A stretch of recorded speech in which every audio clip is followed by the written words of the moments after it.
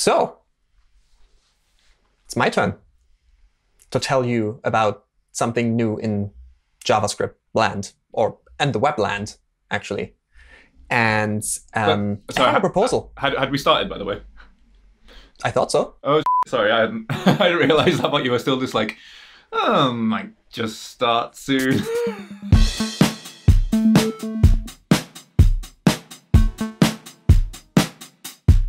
So, so, we're we're trying this once more. Another episode. I love the, the sigh there, like, ah, here we are again. I'm having to talk to Jake, and this time I have to present something. Come on, be a Yes. bit cheerier. This is this is YouTube. You know, people don't I'm- watch I'm anything for more really- than five minutes unless you're like. Oh my god, this is the most amazing thing that's ever happened to JavaScript. This is going to be incredible. You know, you're going to learn so much in this episode. You're going to come away with your brain to be like three times the size it was. It's just, it's this is going to be the best part of your day, if not Isn't, your isn't whole that how you die? If your brain grows to three times its original size, I think I think you die. I think this, the idea is the skull would have to uh, also inflate. Oh. so you look like Brain from Pinky and the Brain. yes. Not. Should we now? We need to put a disclaimer on the show. Might make your skull grow if you watch too much of this. It's like That's the new tagline for the, the show. HTTP 203 might break your skull. Great.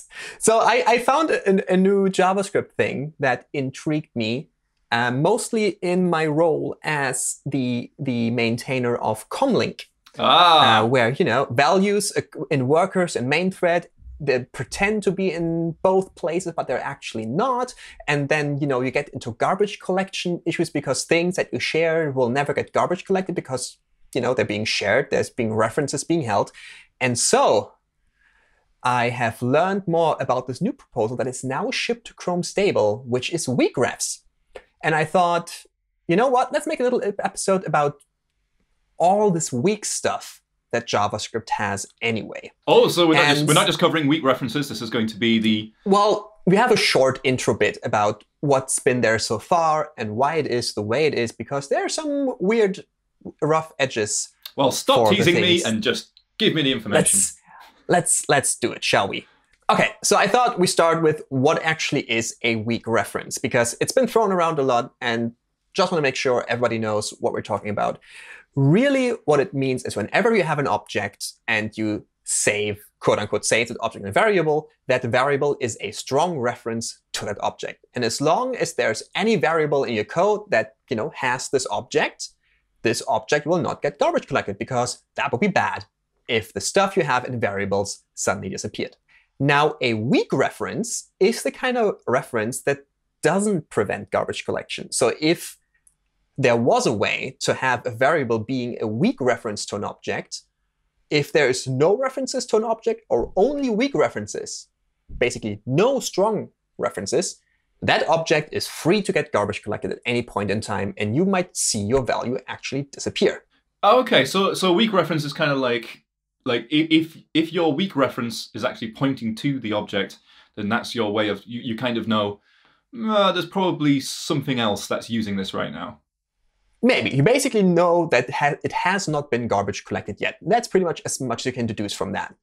Um, and there's already one little difference that you mentioned there because just because you give up all strong references to an object doesn't necessarily imply that it will be immediately garbage collected. So a weak reference could theoretically still give you an object, even though there is no strong references to it anymore. And that's a detail that we're going to get more into a little bit later because that's it, it's an important distinction to make. It was Um, I I heard that because I um I'm glad you're doing this talk because I did read the article on weak references and I came away still being quite confused. Um, and it was some of the uncertainty that was a bit like "Oh, I don't know this uncertainty sounds bad. Um, It so we're going to have a lot of that because basically we have had weak two two weak data types in JavaScript for actually quite a while, and those are the weak map and the weak set. And some might be surprised that these are fairly old. They were in IE 11, so they've been around for a long time. yes. And what these two do is basically in the weak map, the key is weak, meaning you can only get to the value when you have the key, but the key itself is not prevented from being garbage collected just by the fact that it's being used in the map. So if you know, if you use a DOM node as the key in the weak map, um, and don't save this DOM node anywhere else, if it gets garbage collected, your key and your value can disappear from that map. And that can be incredibly helpful. I often get see questions on Twitter, sometimes directed at me, sometimes at others, what the use, use cases for weak map and weak set are. And so one of the primary use cases for me is that for the longest time in JavaScript, uh, expandos, as they're called, have been fairly common. You just take an object and you throw new properties on it. Like you put just an underscore my stuff and put your stuff in there. And you know that's JavaScript, it works. But one of the downsides is that it's bad etiquette basically to, to transform objects that you don't own. Also because that can cause the JavaScript runtime to de-optimize because you're changing the shape, as it's called, of an object. And so generated binary code might not work anymore, and they would have to regenerate it. And so mutating objects you don't own is often a bad practice. And there's an ownership issue here as well, isn't there? Because now anything else that gets that profile node can see that internal data. Uh, yeah, because it's not really private. And you can never be 100% sure that you're not creating a name clash. Maybe in this case, you know, some library code actually does use underscore internal. Who knows? And so what you should be doing instead is you create a weak map. So in this case, we're getting something from the DOM, and instead of putting something on the DOM node itself, we use the DOM node as a key in our weak map and put our extra data into the value of the weak map. And that means as long as the DOM node exists, the value will continue to exist. But when the DOM node gets garbage collected, so will the value. And that's really useful. And for a weak set, it's basically for the use case, whenever you find yourself doing a weak map where you store true in the value, that's like my prime example, where you just want to remember, have you visited a certain object? Have you already seen it? Have, has it already been processed? Those kind of things. That's where a weak set comes in. Um, however, and that is something that trips some people up or raises question marks at least, is that neither of these are iterable. You cannot iterate over the keys in the weak map. You cannot iterate over the entries in a weak set weak stuff in general was never iterable. And that kind of comes from the fact that one of the fundamental principles, I think, by the W3C was you should never expose garbage collection. And the reason for it is actually from security.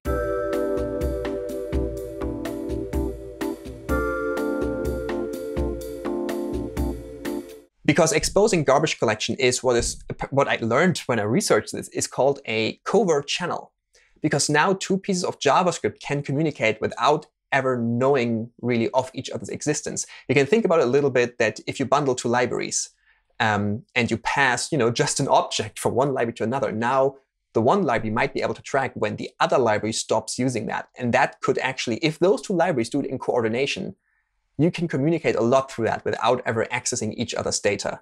Um, and that's, I mean, we, if you think about cookies, that's how tracking happens. And I think something like this could be exploited the same way. And so they never wanted to open this can of worms, basically.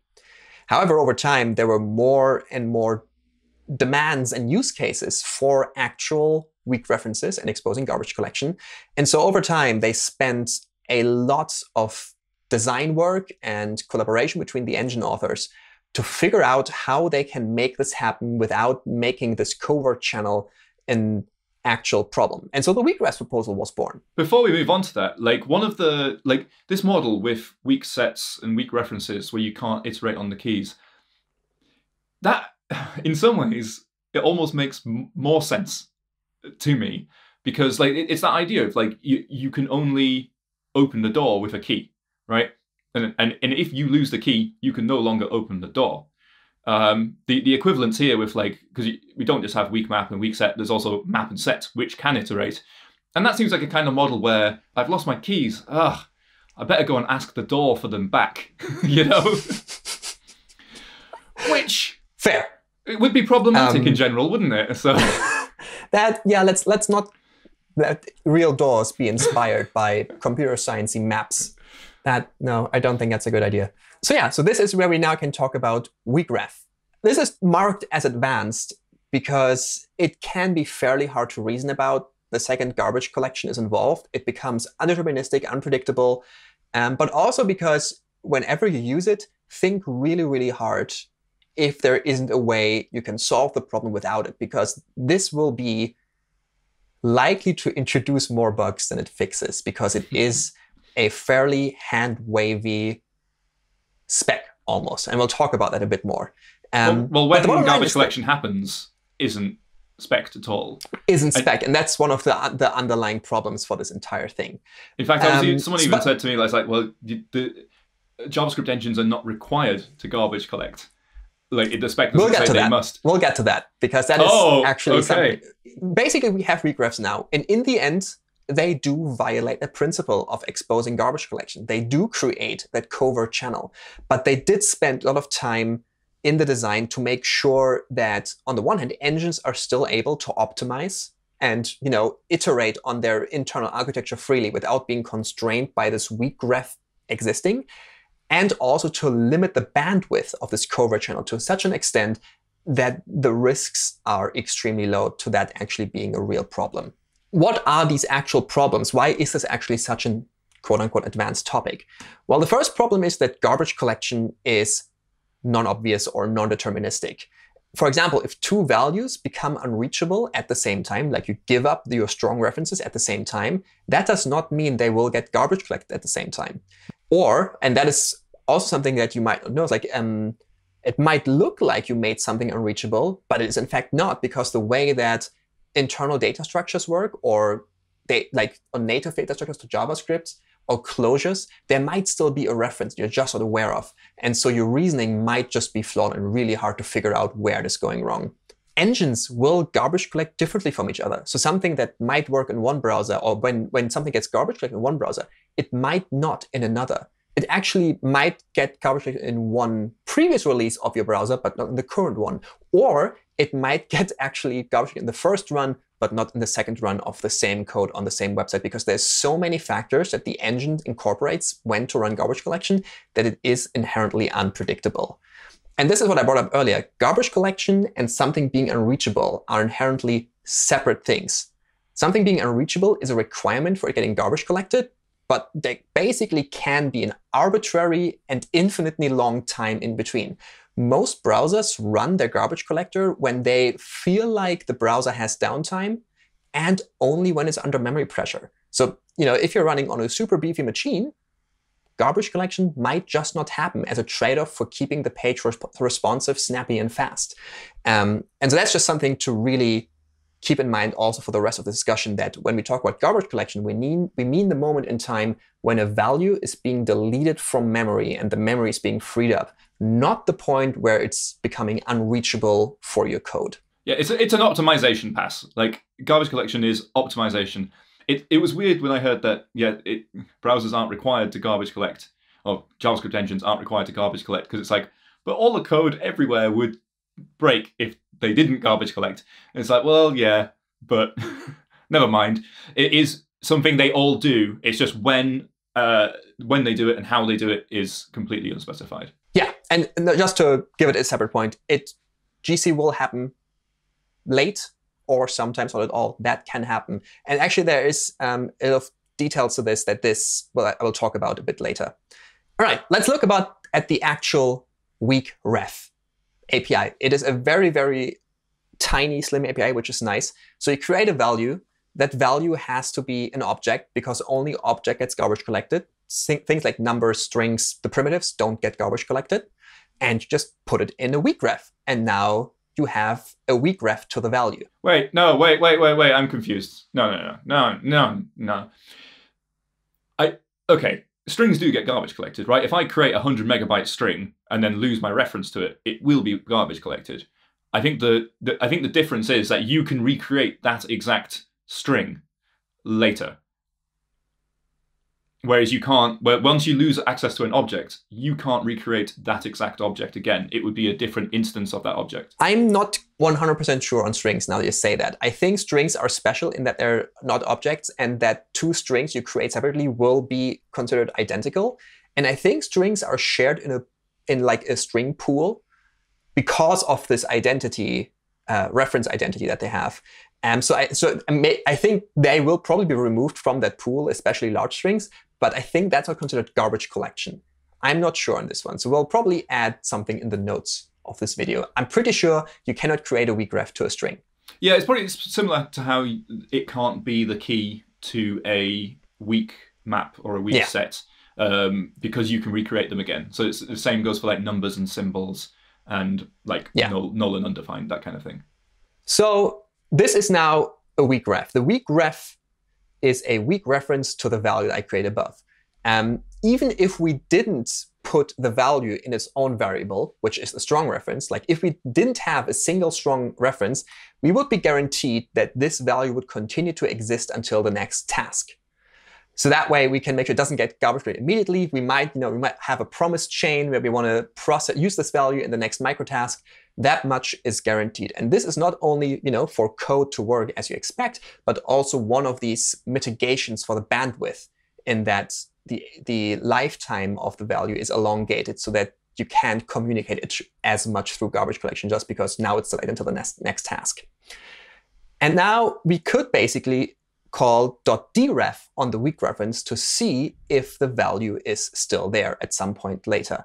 And then this maybe value will be undefined if the value had been GC'd at some point between these calls, or it will be the actual value if it hasn't. And if we call deref and get the value, again, that's a new point in time where we say, OK, now the value will continue to exist until the next task at the very least. Again, for this guarantee and to limit the amount of communication that you can do. So when you've called deref, like, all right, two questions. Can you call deref multiple times? Yes, as many times as you like. And so, and that, and then the thing you've got is now a strong reference. deref gives you a strong reference. Yes, it gives, yeah. yeah. basically. And so uh, once until that variable ceases to exist, but even then the value will not be garbage collected at the very least until the next task. This is actually one of the consistency guarantees. So you can have multiple weak refs to the same value and D calling deref on all of them will always yield the same result. There's no way that one weak ref will still have it and the other one won't. Those will always be consistent.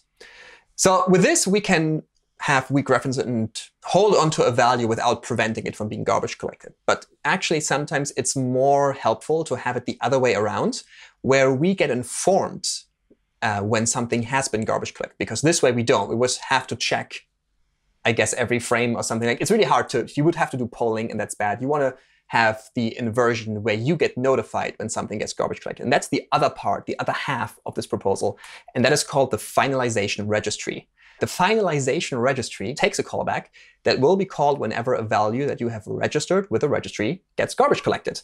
And you basically register that value with a held value. And now this is something um, that might be confusing to some people at first because the value that you wait to that will be called whenever it's not the value that gets passed into the callback. And that's simply because at the time the callback is called, the value has already been garbage collected.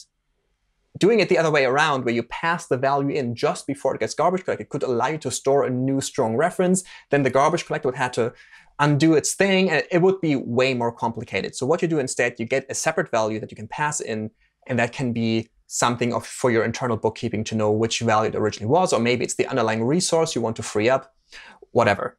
Can you pass the same object in twice? No, that's not going to work because it has to have a strong reference then. Oh, okay. the, yeah, so the, the held value is called held value because it is strongly held. So yes. if you, you, I mean, you could call register some value, some value, but that would prevent garbage collection from ever happening on some yes. value. So this is this is your optimization step. So if you've got like if you've vended an object and you've you've got some sort of system where I want to keep this WebSocket open while this object is still being used, this is the pattern you would use because you get that callback and you go, oh, that object's gone now. Now I can do my related optimizations like close the WebSocket. Yeah. And, and it is also important to note that you know the the callback will be called at the same time the value gets garbage collected or at some point later in time. So and again, this is up for interpretation by the engine. It can be very, very long between the actual garbage collection and when this callback will actually be invoked. But what about the weak ref then? Is there is there guarantees there? Like it like could there be a situation where if I deref a weak reference, it returns like undefined or whatever, but this callback fires like an hour later or something? Yes, I think that is a possibility. So I think if the callback has been called, deref will definitely return undefined.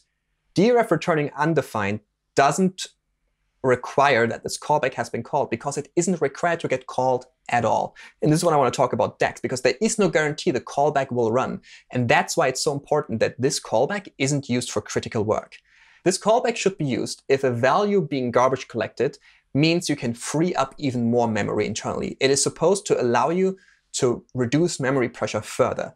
It is not supposed to be used to actually do um, business logic cleanup work uh, because it might not ever get called. And so in that case, you might actually be more wasteful with your resources than necessary. Yeah, you couldn't build like an analytic system that tells you how many objects are around using this because you, it doesn't come with those guarantees. Yes. So that's one of the reasons, for example, why this has been tailored with WebAssembly in mind, because WebAssembly often passes values to JavaScript that represent something is actually in WebAssembly memory. Um, and so in that case, it makes sense because if the representation in JavaScript gets garbage collected, meaning the engine thinks it's under memory pressure, then code can run to free up even more memory in WebAssembly lands. But if that memory doesn't get freed, it doesn't inhibit the functionality of the app or wastes user resources to an unnecessary extent. So yeah, as I said, there is no guarantee that this will run. And there's some two things that they point out makes it uh, especially unlikely for them to run. One is if you close the tab or if you kill the process, there is no need for the engine or no requirement for the engine to run all the registered callbacks if you just kill the process. So it shouldn't be used to like do cleanup work when somebody leaves the page. And it's also very unlikely for these callbacks to run if the registry itself becomes unreachable by your code. Um, so I guess if the registry gets garbage collected unreachable, um, there is no guarantee that these callbacks will ever be called in the future. Now that we've registered something to get cleaned up, sometimes we might discover later on, actually, we don't want this callback handler to run ever, and we want to unregister a certain value. For that to work, the function register takes a third parameter, which is the unregistered token. It's similar to the held value in that it symbolizes uh, what you need to have to unregister this one value. In this case, however, unregistered token could be the same thing as some value because it is not strongly held. But sometimes it might be easier for you to use a different value altogether just for bookkeeping purposes or keeping it simple or something like that. And then you can just call unregister with this unregistered token, and that will prevent remove your value from the registry. And now one last method on the finalization registry, which actually I found really interesting because it's the first time that I have seen a normative optional API. That means this API is in the spec, is specced out, but implementers are not required to implement it. I think mm-hmm. the only other API on the web that has a similar fate currently are shared array buffers, in that they are specced, they're agreed upon, they're merged and everything, uh, but they're not required to be implemented to be fully spec compliance. Is this the same reason? Is it is it a security timing thing? Yes, I mean shared array. We all know the, the you know, or we have probably heard of the the history with shared array buffer that was removed because of Spectre and Meltdown, and now it's slowly being incorporated. But they still leave it up to the engine to decide whether they want to enable them. If they don't, basically, browsers who hadn't shipped any mitigation or found a good mitigation shouldn't be considered spec incompliant. Uncompliant? Incompliance? Uh, in incompliant. I think it is. Whatever it is don't, don't, don't say that about the browser that doesn't have shared array buffer because it's a very yeah. tough problem. That's basically the thinking behind it. And this apparently had a long discussion behind it, which I'm not going to try to summarize. But some browsers didn't want to ship this, other browsers did want to ship this. There was basically a big contention around should this ever be, because it's a synchronous API that runs callbacks on amount of values that might have been garbage collected. Oh, sorry, I should explain what this function does first. So the function is called cleanupSome. And that is basically you saying, hey, if you have a chance, call all the callbacks for the values that have been garbage collected, but you haven't called the callback on just yet. Um, so you're kind of opting like, hey, I, I, would like to process these things now. Um, I actually kind of surprised they made it optional because it would just ju be just a spec compliant to make it a no-op because you don't have to run the callbacks. You can just say like, nah, not running anything. It's just a little, it's a little poke, isn't it? It's just like, please, please, please. But there were browser vendors disagreeing on whether this is good for the main thread or not. And so in the end, they just made it normative optional to implement this. And it currently looks like that at least on the web, uh, we will only be shipping it in workers, not on the main thread, uh, which I thought is quite interesting. So you do have to check whether this method exists before calling it. And this is where optional chaining comes in super handy. We just do like a little question mark dot parentheses, and then it will be called only if that function actually exists. And that's not the first thing that that's happened with with in JavaScript, right? Because we've got um, it's the atomic stuff, right? There's there's methods on atomics that are only in workers as well. Yeah, and so um, yeah, just keep in mind you need to check before it's there. And again, this method is just a request to run these callbacks. There is no requirement from the browser to actually process, call any callbacks or process any values. Um, that's what I mean. Like this entire API is very much trying to leave this freedom for the engine implementers to allow them to implement better garbage collection algorithms in the future um, so that they're not constrained by weak refs and finalization registry. Um, and so it is very, it, it is, a, you need to be very careful when working with this. One thing I want to close with that with this, you can now actually build an iterable weak map. And interestingly enough, there's an entire implementation of this in the explainer. That is, I have a link here, bit.ly slash iterable map. If you want to look at that, I'm not going to go through it here because there are things to track to make sure that everything is garbage correctly and so on and so forth. But if you're curious, uh, take a look. The weak weakrefs implementation has shipped in current stable Chrome. I have actually merged it into Comlink. So if your browser supports weakrefs, I will automatically garbage collect stuff across the worker boundary now, which I think is kind of cool. Um, so yeah, builds try try it out, play around with it, but remain careful to. Do we have enough time for you to quickly describe how you used it in Comlink? Comlink, what it does is you have a val value in a worker, and you basically create a proxy on a main thread saying like, you, proxy, behave like that object in the worker. And then under the hood, I use a, a message passing protocol to say, this person wants to access property A. Send me the value of property A, please. And then this round trip happens.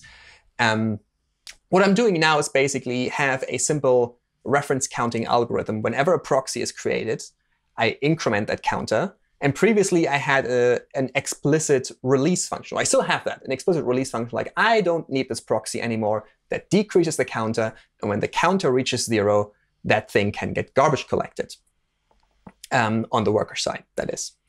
Um, now you basically implicitly call that function when the proxy gets garbage collected. And you can opt in of that, you can nice. opt out of that. But this, again, like this is if if there is memory pressure, it might be useful for the engine that I release unused objects in the worker side as well. And so I pretty much just use a weak ref, uh, a finalization registry, sorry, to no get a notification this proxy has been released. And then I can decrease the counter on the worker side and just let go of the message channels once that counter reaches zero. I should say, like, this is super advanced stuff. And anyone watching this shouldn't be like, oh, my code doesn't use weak references. I should go and add them in somehow. Like, don't do that. Please don't. Yeah. Don't. Please don't. But it, it is just enabling these like couple of edge cases where you can make extra optimizations. Or, or like you say, you, you can avoid a case where you have to call an explicit um, destructor, like release function or something like that. Yeah. And it, it, yeah, for me, obviously, it is the most exciting part is the WebAssembly bit, where you now get a deeper integration between the garbage collector in JavaScript and your memory in WebAssembly. So this is the first stepping stone towards getting garbage collected languages to WebAssembly without having to ship your own garbage collector code in WebAssembly.